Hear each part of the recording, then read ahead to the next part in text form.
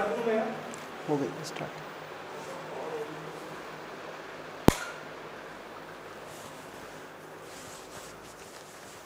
okay hello everyone this is Piyush Soni welcome to Prayas institute so आज हम start करने वाले हैं बहुत छोटा सा टॉपिक जो बेसिक मैथ्स का एक पार्ट है रेशियो एंड प्रपोर्शन ठीक है? तो सबसे पहले देखते हैं रेशियो क्या है। तो जैसे यहाँ पर मैंने ऐसा लिखा A upon B A by B हम बोलते हैं। इसको आप ऐसा भी बोल सकते हो। और ए एस टू बी आप इसको A as to B A ratio B भी बोल सकते हो। ठीक है? तो ये रेशियो हुआ। या फिर यहाँ पे हम बताएँ कि ए बाय बी हमारे पास लिखा हुआ है और उसके डिवाइड में हमने सी बाय डी भी इस तरह से लिखा दिया। तो इसका मतलब ये होगा यहाँ पर कि A by B as it is into ये जो डिवाइड का रेशो है ना, ये पलट कर मल्टीप्लाई में चले जाएगा. इट मीन्स ये हो जाएगा डी बाई सी याद रखना डिवाइड के डिवाइड में कोई वैल्यू हो तो रेसिप्रोकल होकर चली जाती है. जैसे सपोज़ आपके पास ऐसा है. Five by four divided by three by two तो आप उसको इस तरह से लिखोगे. Five by four into two by three ऐसा. मतलब डिवाइड वाला रेशो वापस मल्टीप्लाई में जाएगा. या फिर कभी कभी आपके पास ऐसी चीज़ आ जाती है five by four divided by आपको मिलता है, सिर्फ़ थ्री मिल रहा है। तो आप कुछ रिटेंशन मत तो इसके डिवाइड में वन रखो और फिर रेसिप्रोकल करो। तो आपके पास आ जाएगा five by four into one by three ठीक है? कुछ बच्चे क्या गड़बड़ करते हैं यहाँ पर? कुछ बच्चे यहाँ पर गड़बड़ करते हैं कि वो थ्री को ही रेसिप्रोकल ले जाकर मल्टीप्लाई कर देते भाई थ्री जाकर मल्टीप्लाई नहीं होगा, है ना? थ्री बाई वन करोगे तो वन ऊपर जाके मल्टीप्लाई होगा ओके चलिए। तो ये तो हमारा रेशो हो गया। प्रोपोर्शन किसको बताएँगे? वो बात कर लेते हैं। जैसे हमारे पास ए बाई बी है यहाँ पर। ठीक है?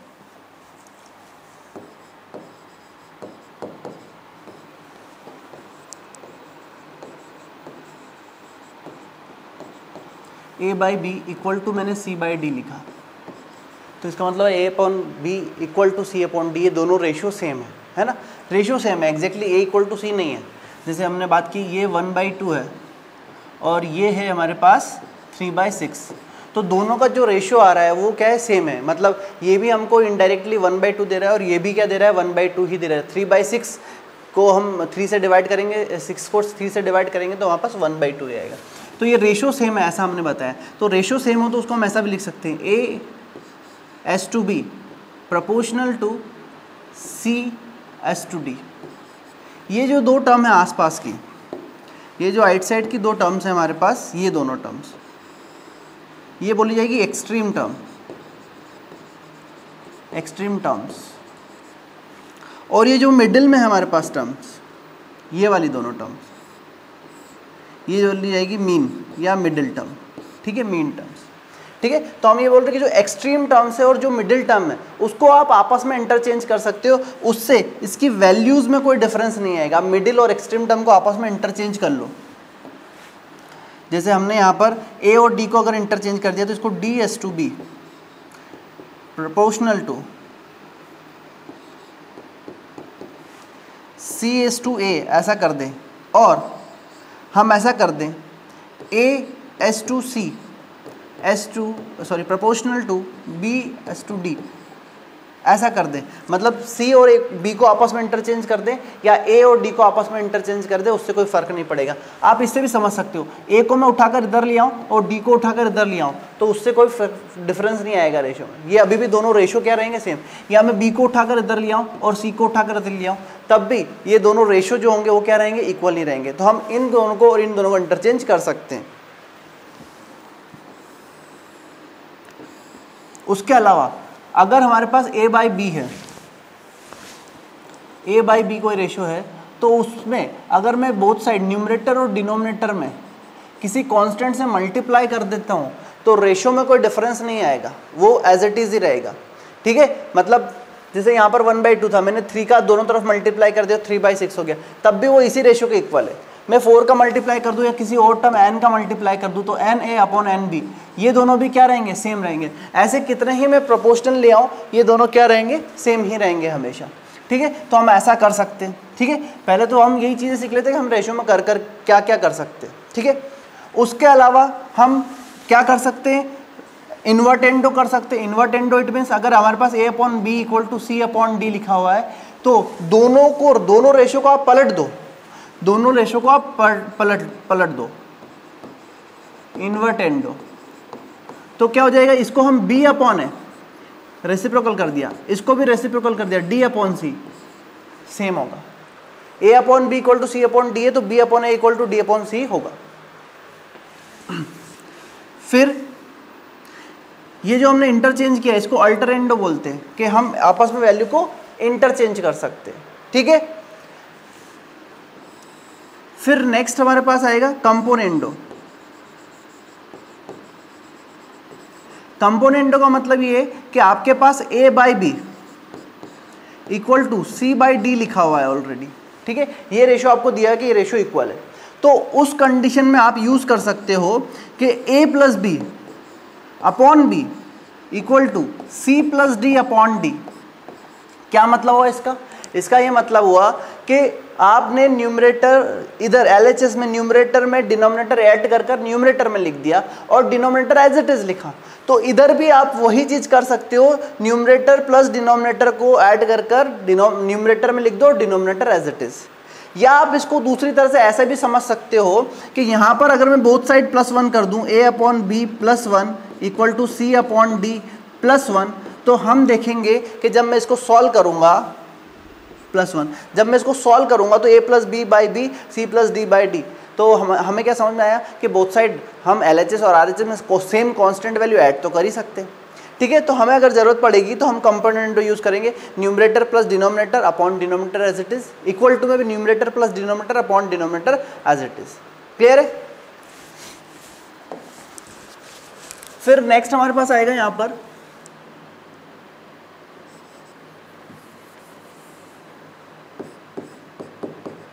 डिविडेंडो। नेक्स्ट हमारे पास आएगा डिविडेंडो। तो डिविडेंडो क्या होगा? जैसे अभी हमने प्लस वन किया था, ऐसा बोले। A upon B equal to C upon D हमारे पास गिवन है। अब हमने बोथ साइड क्या कर दिया? मतलब लेफ़्ट हैंड साइड क्या किया? A minus B upon B किया। मतलब न्यूमरेटर में से डिनोमिनेटर को माइनस करके न्यूमरेटर के प्लेस पर लिखा और डिनोमिनेटर एज इट इज़ तो यहाँ पर भी हम न्यूमरेटर में से डिनोमिनेटर को माइनस करके डिनोमिनेटर एज इट इज़ लिख सकते हैं। या फिर इसको मैं और दूसरे तरह से तुमको बताऊँ कि क्या बोल रहे हैं। तो हमने बोथ साइड माइनस कर दिया। हमने क्या करा? दोनों तरफ़ माइनस वन कर दिया। जैसे ए बाई बी है तो इधर भी माइनस वन कर दिया equal to C by D इधर भी माइनस वन कर दिया। लेफ़्ट हैंड साइड और राइट हैंड साइड कोई कांस्टेंट वैल्यू को ऐड और सब्ट्रैक्ट में कर सकता हूँ। अभी इसका एलसीएम लूँगा तो वापस से मेरे पास यही बन जाएगा। ठीक है? तो ये हो गया डिविडेंडो इनका बहुत यूज़ है हमारे पास, है ना?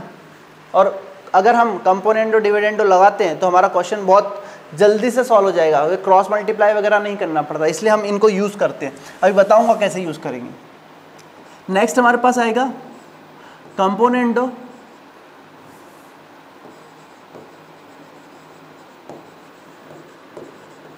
एंड डिविडेंडो तो कंपोनेंट और डिविडेंडो मतलब दोनों चीज़ें साथ में कर दो प्लस बी और माइनस बी तो हमारे पास रेशियो गिवन है A by B equal to C by D तो हम यहाँ पर ऐसा कर देते। A plus B upon A minus B क्या किया? LHS में क्या किया? न्यूमरेटर प्लस डिनोमिनेटर कर न्यूमरेटर में लिखा। न्यूमरेटर माइनस डिनोमिनेटर कर कर डिनोमिनेटर में लिखा। तो ये क्या हो गया हमारे पास? कंपोनेंडो एंड डिविडेंडो दोनों साथ में। इक्वल टू में भी यही चीज़ करनी फिर। RHS में भी करना। C plus D upon C minus D clear है? है ना? ऐसा नहीं कि दोनों चीज़ें ऊपर ही कर दी, है ना? A plus B A minus B ऊपर ही कर देंगे तो फिर कुछ कम, ऐसा नहीं कि कंपोनेंटो डिविडेंडो बोला तो दोनों चीज़ न्यूमरेटर में ही करनी, नहीं। एक चीज़ डिनोमिनेटर में हो जाएगी, एक चीज़ न्यूमरेटर में। इसके पहले हमने देखा था, यहाँ पर हमारे पास आ रहा था क्या? अब जब हमने कंपोनेंडो लगाया तो A plus B equal to C plus D फिर हमने डिविडेंडो लगाया। डिविडेंडो लगाया तो क्या है हमारे पास? A minus B upon B equal to C minus D upon D उसको इक्वेशन वन बोल दो, इसको इक्वेशन टू बोल दो, दोनों को डिवाइड कर दो। ऐसा कर सकते हो। ऐसा आप बोल सकते हो। ठीक है? तो ये कंपोनेंटो डिविडेंडो भी बहुत इंपॉर्टेंट है, आपको इसको याद रखना है और इसका मैं बताऊँगा यूज़ कैसे होगा, ठीक है? तो ये आप याद रखेंगे।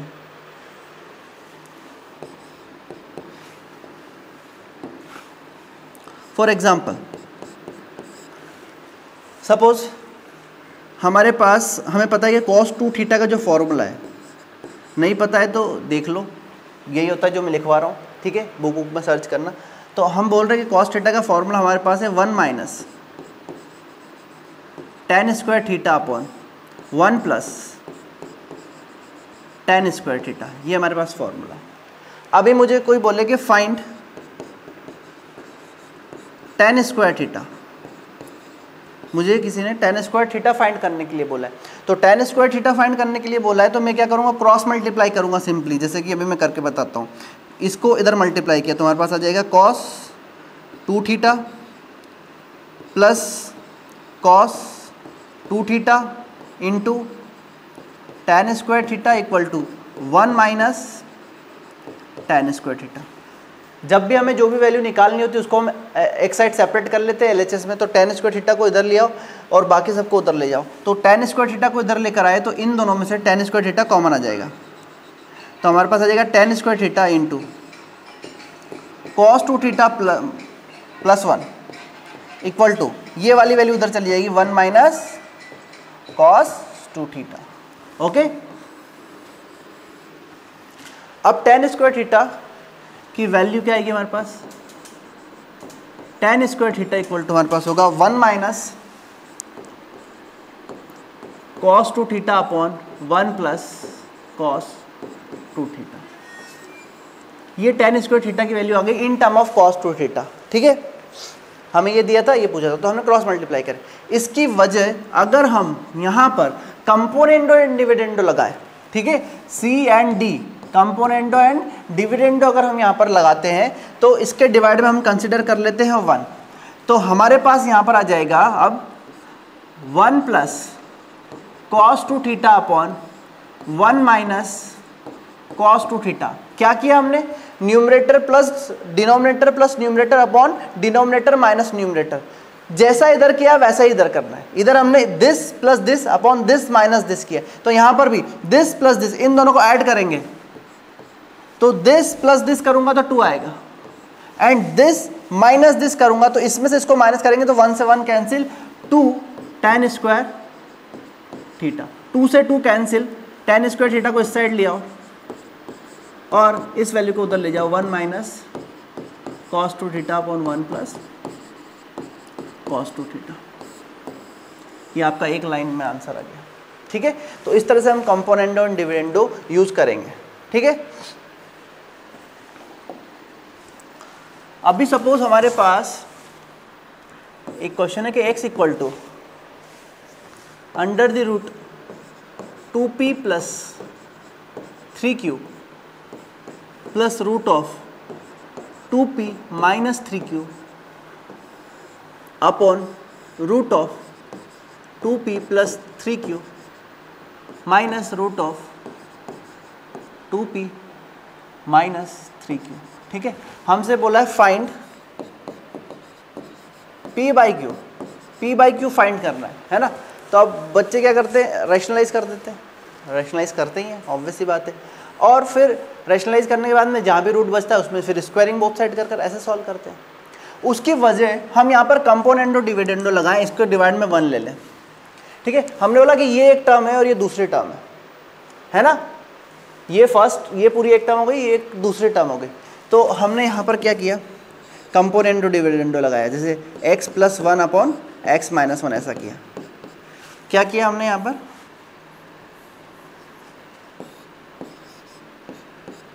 Numerator plus denominator upon numerator minus denominator. तो यहाँ पर भी न्यूमरेटर प्लस डिनोमिनेटर तो जब इन दोनों को ऐड करूँगा तो मुझे समझ में आ रहा है ये दोनों कैंसिल हो जाएँगे twice of root of two P plus three Q मेरे पास बचेगा।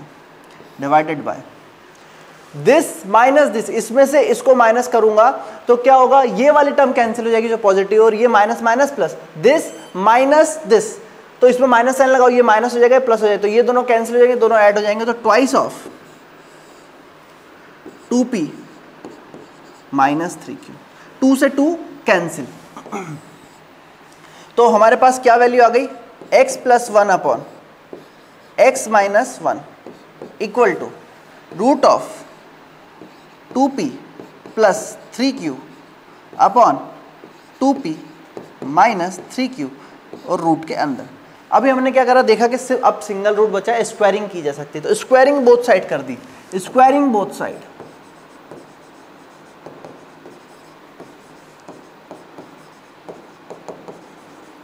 squaring both side करेंगे तो यहाँ पर आ जाएगा x plus one whole square upon x minus one whole square equal to two P plus three Q upon two P minus three Q. हमें p बाई क्यू चाहिए। तो बच्चे यहाँ पर भी क्या करते हैं? क्यू कॉमन निकाल के पी बाई क्यू निकालने की कोशिश करते हैं। इससे अच्छा वापस कंपोनेंडो डिविडेंडो लगा दो वापस से। तो इसका तो होल स्क्वायर ओपन कर देता हूँ। ये हो गया X square plus two X plus one ये न्यूमरेटर वाली चीज़ वापस ऊपर ले जाके प्लस की। तो ये हो गया X square minus two X plus one divided by this minus this X square plus two X plus one minus X square plus two X minus one. मतलब यहाँ पर मैंने numerator plus denominator upon numerator minus denominator किया तो यहाँ पर भी मैं यही करूँगा two P plus three Q minus two P minus minus plus three Q divided by two P plus three Q sorry plus किया है यहाँ पर। हमने क्या किया है? प्लस किया है। माइनस थ्री क्यू यहाँ पर क्या होगा? Minus two P plus three Q. क्या किया है? Numerator plus denominator. इधर भी न्यूमरेटर प्लस डिनोमिनेटर तो दिस प्लस दिस फिर डिनोमिनेटर में न्यूमरेटर माइनस डिनोमिनेटर तो यहाँ पर भी न्यूमरेटर माइनस डिनोमिनेटर होगा। ये बात ध्यान रखेंगे।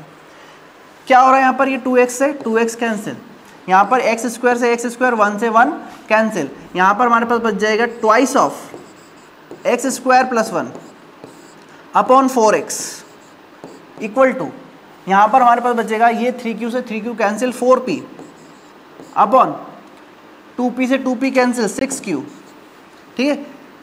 इसको भी कैंसिल कर देते टू से कैंसिल हो जाएगा टू से ये टू कैंसिल हो जाएगा तो हमारे पास इधर जाएगा three three into X square plus one upon यहाँ पर है हमारे पास टू टू का इधर मल्टीप्लाई होगा तो four four X equal to P by Q आपका पी बाई क्यू आ गया एक सिंपलेस्ट फॉर्म में। आपने सिर्फ़ दो बार कंपोनेंडो एंड डिविडेंडो लगाया।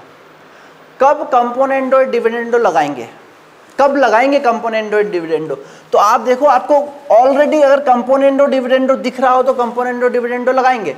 यहाँ पर दिख रहा है, ये एक वैल्यू है this plus this upon this minus this या फिर यहाँ पर भी हमने लगाया तो this plus this upon this minus this तो कंपोनेंडो डिविडेंडो दिखे तो कंपोनेंडो डिविडेंडो लगाना है। समझ आई बात? मतलब हमेशा थोड़ी ना कि बस कंपोनेंडो डिविडेंडो लगा दिया और ट्राई कर रहे हैं, हर जगह कंपोनेंडो डिविडेंडो लगा दिया। चलेगा कैसे तो हमें क्या देखना है कि ऑलरेडी कंपोनेंडो डिविडेंडो टाइप का क्वेश्चन है तो कंपोनेंडो डिविडेंडो लगेगा, नहीं तो नहीं लगेगा। क्लियर है? चलिए।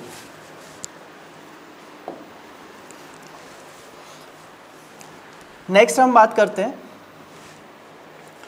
अगर हमारे पास रेशियो इस टाइप से गिवन है A by B equal to C by D equal to E by F, ऐसा ले लेते हैं। ठीक है? और भी एंड ऑन, और भी बहुत सारी वैल्यूज़ है। चार, पाँच छः सात, दस रेशो कितने भी रेशियोज हों, आपके पास इक्वल टू में। तो आप क्या करेंगे? इन सब रेशो की जो वैल्यू होगी मतलब ये सब रेशो किसके इक्वल होंगे? न्यूमरेटर को ऐड कर दो। न्यूमरेटर न्यूमरेटर ऐड कर दो। और डिनोमिनेटर डिनोमिनेटर ऐड कर दो। इसके इक्वल होंगे। न्यूमरेटर में जितनी भी वैल्यूज़ उन सबको ऐड कर दो न्यूमरेटर में। डिनोमिनेटर में जितनी भी वैल्यूज़ है उन सबको ऐड कर दो डिनोमिनेटर में। ये सभी रेशियोज के इक्वल ही आएगा। जैसे कि हमने बोला, एक रेशियो वन बाई टू वो फोर बाई एट के इक्वल होता है, और वो थ्री बाई सिक्स के भी इक्वल होगा। ये भी वन बाई टू दे रहा है, ये भी वन बाई टू ये भी वन बाई टू सबको ऐड कर दिया। तो ये हो गया हमारे पास फाइव एट डिवाइडेड बाई ये हो गया हमारे पास सिक्सटीन एट बाई सिक्सटीन भी क्या होगा? वन बाई टू का ही रेशियो होगा। क्लियर है? तो कैसे आया ये उसकी बात करें। तो A by B equal to C by D equal to E by F equal to हमने लेट कर लिया K let all ratio is equal to K सारे रेशियो के के इक्वल है। तो ए की वैल्यू हमारे पास कितनी आ जाएगी? इससे के से इक्वेट कर दिया। तो A equal to B K comma इन दोनों को इक्वेट किया तो सी इक्वल टू डी के सी इक्वल टू डी के इन दोनों को भी इक्वेट किया तो ई इक्वल टू एफ़ के ये इक्वेशन वन ये इक्वेशन टू और ये इक्वेशन थ्री हो गई। तीन इक्वेशन आ गए हमारे पास। तीनों इक्वेशन को क्या करो आप? ऐड कर दो। तीनों इक्वेशन को ऐड करो। तो क्या आ रहा है हमारे पास? ए प्लस इनका L H S L H S add कर देता हूँ। C plus E equal to K common ले लिया। कितना आ जाएगा? B plus D plus F. तो यहाँ से हमारे पास के की वैल्यू कितनी आई? A plus C plus E divided by B plus D plus F equal to K. ठीक है? तो ये के क्या है? इसके इक्वल है। तो के की वैल्यू हम ये पुट कर देंगे, A plus C plus E divide by B plus D plus F. ठीक है? तो जितने भी रेशो हो, ऐसा नहीं थ्री रेशोज ही हो फोर फाइव सिक्स कितने भी रेशोज हो न्यूमरेटर न्यूमरेटर को ऐड कर कर इक्वल टू में लिख दो न्यूमरेटर में डिनोमिनेटर डिनोमिनेटर को ऐड करके इक्वल टू में लिख दो डिनोमिनेटर में, ठीक है? इस तरह से। तो ये रेशो उसके इक्वल हो गए। ये बहुत काम आता है हमारे पास। अभी आपको मैंने बताया कि अगर ए बाय ये फ़र्स्ट है, ठीक है? अभी मैंने आपको बताया कि ए बाय बी हमारे पास है, उसको मैं m a by m b लिख दूँ, इससे रेशो में कोई फ़र्क नहीं पड़ेगा। अभी हमने देखा, है ना? वन बाई टू को मैं थ्री बाई सिक्स लिख दूँ, उसका मतलब वही है रेशो वन बाई टू ही है। उसमें कोई डिफरेंस नहीं आता, ठीक है? तो आप ए बाई बी को m a by m a लिख सकते हैं। अभी मैंने आपको लास्ट क्लास में बताया। तो हमने यहाँ पर इसको, हमारे पास already a by b equal to c by d equal to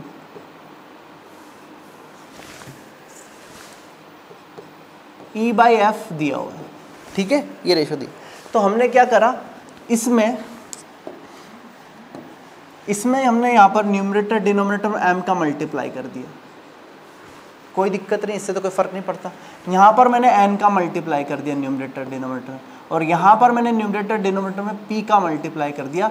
इससे रेशियो में कोई डिफरेंस तो नहीं आने वाला। तो हमने बोला कि न्यूमरेटर क्या है अब? तो न्यूमरेटर अब है हमारे पास।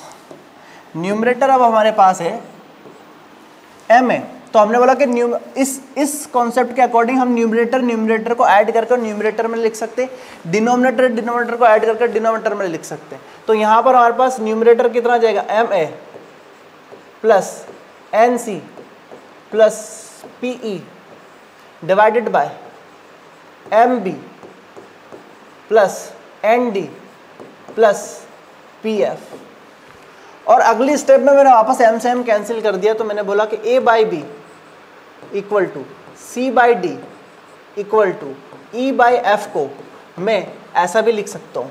M a plus n c plus p e upon m b plus n d plus p f मतलब किसी स्कलर क्वांटिटी से किसी कांस्टेंट से नॉन ज़ीरो वैल्यू से न्यूमरेटर डिनोमिनेटर में मल्टीप्लाई डिवाइड कर कर भी मैं ऐसे ऐड कर सकता हूँ। मतलब a upon b equal to c upon d equal to e upon f को हम m a plus n c plus p e जैसी रिक्वायरमेंट है, जैसे मुझे ए के साथ टू चाहिए सी के साथ थ्री चाहिए और ई e के साथ माइनस वन चाहिए तो मैं ऐसे मल्टीप्लाई करके दोनों तरफ़, इसमें थ्री का मल्टीप्लाई इसमें फोर का, इसमें माइनस वन का मल्टीप्लाई कर कर ऐड कर सकता हूँ, तब भी वही आएगा। मतलब इस रेशो के ही इक्वल ही आएगा। चाहे आप किसी भी कांस्टेंट से दोनों तरफ़ मल्टीप्लाई कर दो। बस ध्यान रखना है कि ए और बी में सेम स्केलर होगा सी और डी में सेम स्केलर होगा और ई e और एफ़ में, जो रेशियो है उनमें सेम स्केलर होगा। ठीक है? जैसे सपोज़ मैं बताऊँ आपको वन बाई टू आपने ले लिया, आपने टू बाई फोर ले लिया, आपने थ्री बाई सिक्स भी ले लिया। आपने जब पहले ऐड किया था डायरेक्ट तब तो रेशो सेम ही आ रहा था। अभी आपने इसमें टू का मल्टीप्लाई कर दिया। तो उससे क्या हुआ? रेशो तो वही रहा, ये टू हो गया। और यहाँ पर फोर आ गया। इसमें आपने थ्री का मल्टीप्लाई कर दिया तो ये सिक्स हो गया, ये ट्वेल्व हो गया। इसमें आपने फोर का मल्टीप्लाई कर दिया तो ये ट्वेल्व हो गया, ये ट्वेंटी फोर हो गया। पर रेशो अभी भी वही आएगा, कितना हो जाएगा ये हमारे पास? Twelve six twenty divided by four two forty one by two ratio अभी भी क्या आएगा? वन बाई टू तो ऐसे स्केलर से आप मल्टीप्लाई कर कर भी सॉल्व करेंगे, तब भी आपके पास रेशियो वही आने वाला, कोई चेंज नहीं होगा ratio third a by b है मेरे पास equal to c by d equal to e by f है ठीक है?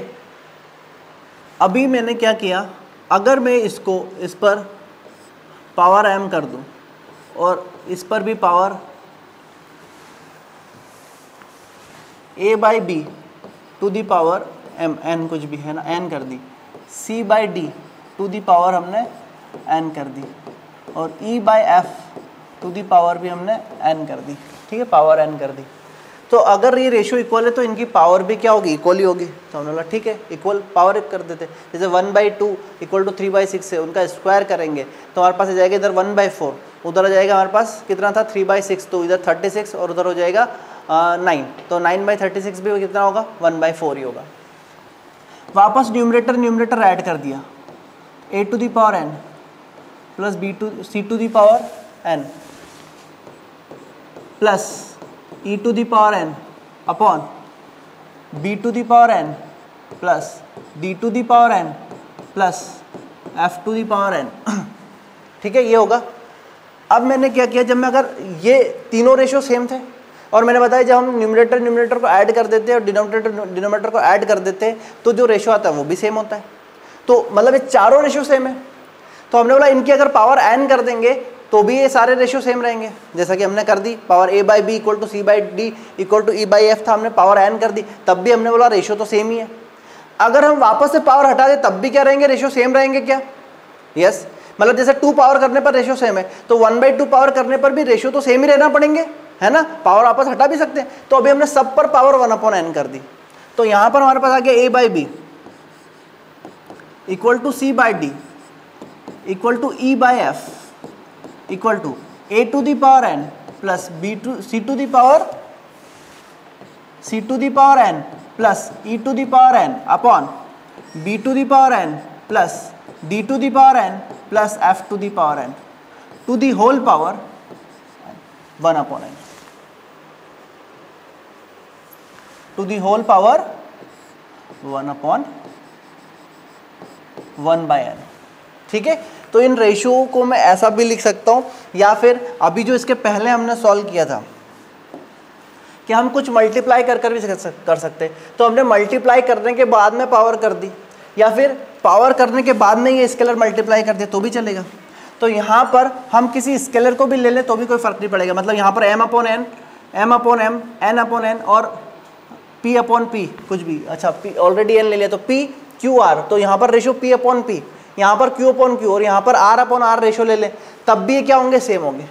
तो इसको फोर्थ नंबर देकर हम ऐसा बता सकते हैं कि a by b equal to c by d equal to e by f equal to ऐसा भी हो सकता है।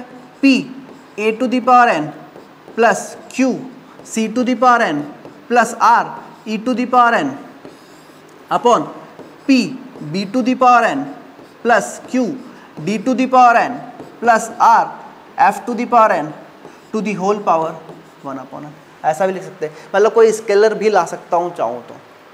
ठीक है? तो हमने इनडायरेक्टली क्या बोल रहा कि a upon b equal to c upon d equal to e upon f equal to और भी जितने भी रेशियोज हो तो पहली चीज़ तो सारी ही वैल्यूज़ को न्यूमरेटर को न्यूमरेटर में ऐड न्यूमरेटर न्यूमरेटर को ऐड कर कर न्यूमरेटर में इक्वल टू में लिखा जा सकता है। डिनोमिनेटर डिनोमिनेटर को ऐड कर कर इक्वल टू में डिनोमिनेटर में लिखा जा सकता है। या किसी स्केलर का मल्टीप्लाई डिवाइड कर कर भी एज इट इज़ लिखा जा सकता है, या कोई पावर लगाकर भी लिखा जा सकता है, या पावर लगाने के बाद फिर स्केलर का मल्टीप्लाई कर दोगे तो भी लिखा जा सकता है।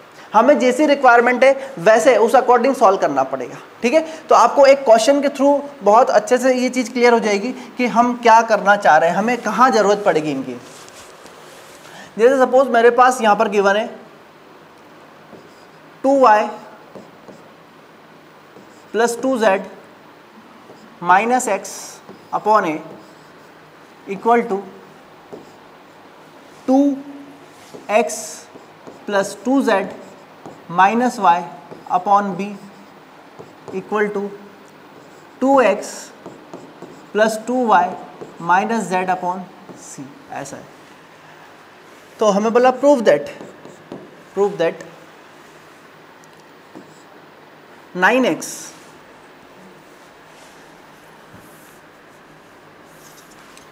prove that nine x upon two b plus two c minus है। Equal to nine y upon two a plus two c minus b equal to nine z upon two a plus two b minus c. ऐसा होगा। ठीक है? तो हम वापस question को ले लेते हैं। तो हमने बोला, क्वेश्चन हमारे पास ये है और ये हमें प्रूव करना है। ठीक है? तो नाइन जेड कैसे लाएँगे? वो भी कैलकुलेट कर सकते, पर थोड़ा सा कॉम्प्लिकेटेड हो सकता है है ना? मतलब आपको ज़्यादा देखना पड़ेगा। इसकी वजह आप डिनोमिनेटर को देखें कि आपको डिनोमिनेटर में क्या लाना है। आप वैसी चीज़ें ले आओ तो डिनोमिनेटर लाओगे तो न्यूमिनेटर अपने आप बनाना पड़ेगा। मतलब जो चीज़ आप न्यूमिनेटर में कर रहे हो, वही आपको डिनोमिनेटर में करनी है, बात तो पक्की है। जो आप डिनोमिनेटर में कर रहे हो, वही आपको न्यूमिनेटर में करना है। मतलब दोनों में सेम चीज़ें करना है। तो आप न्यूमिनेटर को सॉल्व करो क्योंकि उसमें आपको चीज़ें दिख रही है। आपको दिख रहा है कि टू बी के साथ टू चाहिए सी के साथ टू चाहिए और ए के साथ माइनस वन चाहिए। तो इस वाले रेशियो में क्या करेंगे? टू का मल्टीप्लाई करेंगे। इस वाले रेशियो में भी टू का मल्टीप्लाई करेंगे और इस वाले रेशियो में माइनस वन का मल्टीप्लाई कर कर ऐड कर देंगे। मतलब ये पूरा जो रेशियो है, किसके इक्वल हो सकता है? माइनस वन ऑफ़ दिस इसमें माइनस का मल्टीप्लाई करो। Minus two y minus two z plus x. Plus, इसमें टू का मल्टीप्लाई करना है, क्योंकि टू भी चाहिए। Four x plus four z, four x plus four z minus two y plus, इसमें भी टू का मल्टीप्लाई करना है। Four x plus four y minus two z divided by हमने क्या करा? इसमें माइनस वन इसमें टू और इसमें टू का मल्टीप्लाई कर तीनों को ऐड कर दिया। A by b c by d और ई बाई एफ़ है। ठीक है? तो इसमें माइनस वन टू और इसमें भी टू का मल्टीप्लाई किया और तीनों को ऐड कर दिया। तो न्यूमिनेटर में ऐसा किया तो डिनोमिनेटर में वही करना जो कि हमें चाहिए। Two b plus two c minus का है ए में माइनस का मल्टीप्लाई करना है। क्योंकि डिनोमिनेटर एज इट इज़ आ गया। इसको नहीं इसको लाना था हमको। ये लाएँगे तो अपने आप बाकी की सारी चीज़ें आ जाएगी। ये माइनस का टू आई है। ये माइनस का टू वाई से प्लस, माइनस का टू वाई और ये प्लस का four y. Cancel. Minus two z, minus two z, minus four z, plus के फोर जेड से cancel. Four x four x, eight x, plus x, कितना हो गया? Nine x. तो हमारे पास टोटल कितना आ गया? Nine x. Nine x divided by two b plus two c minus है। ऐसा आ जाएगा। अब ये सेम प्रोसेस हम किसके लिए कर सकते हैं? इसके लिए भी कर सकते हैं। हमने बोला कि इन तीनों रेशो के इक्वल ये है। पहली चीज़ तो ये प्रूव कर दे। दूसरी, अब हमें टू ए टू सी और माइनस बी लाना है। मतलब इसमें टू का मल्टीप्लाई करना है, इसमें भी न्यूमरेटर डिनोमिनेटर में टू का मल्टीप्लाई करना है और इसमें माइनस वन का मल्टीप्लाई कर ऐड करना है। ठीक है? तो इसमें टू का मल्टीप्लाई करेंगे तो हमारे पास आ जाएगा four y plus four z minus two x plus four x plus four z minus two y plus sorry इसमें हमें माइनस वन का मल्टीप्लाई करना है। Minus two x minus two z plus y और इसमें टू का plus four x plus four y minus two z divided by two two और minus one तो two a plus two c minus इसको solve किया। तो आप देखो minus plus four y minus plus four y plus four y eight y और plus y nine y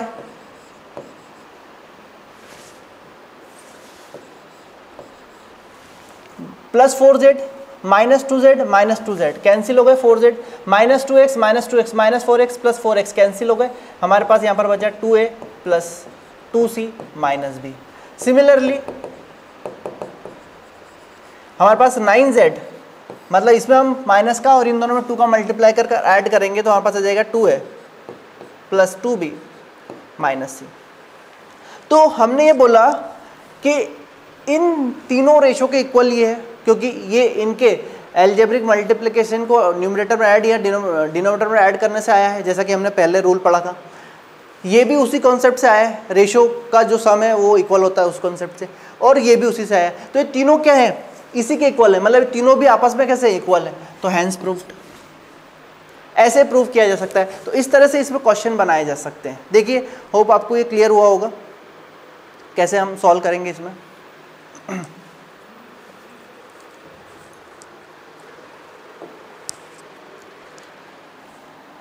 next अब हमारे पास क्या आएगा? यहाँ पर ऐसा भी हो सकता है हमारे पास कि हमें बोला जाए कि ratio